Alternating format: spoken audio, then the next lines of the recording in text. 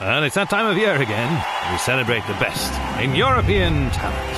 Tonight, we have three of Europe's most talented performers from Arsenal Football Club. Welcome to the Paddy Power Goonavision Song Contest. First up, it's España. That means Spain. Uh, Arsene Wenger there in the green suit.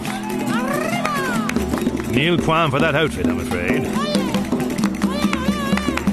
It's been a while since I've seen a pair of bongos like that, I can tell you. Well, bravo, amigo, y buenas noches.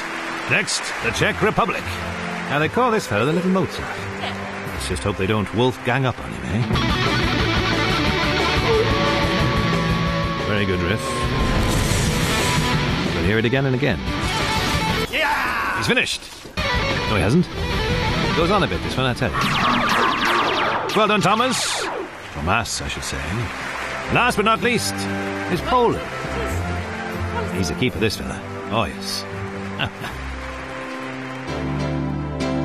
An individual style he has. Doesn't want to touch the keyboard, apparently. No one's ever seen his real hands.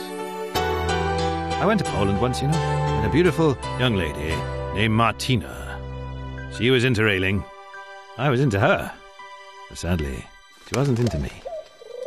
There wasn't much singing in that competition, was there? Well, if you've enjoyed that, you're nuts.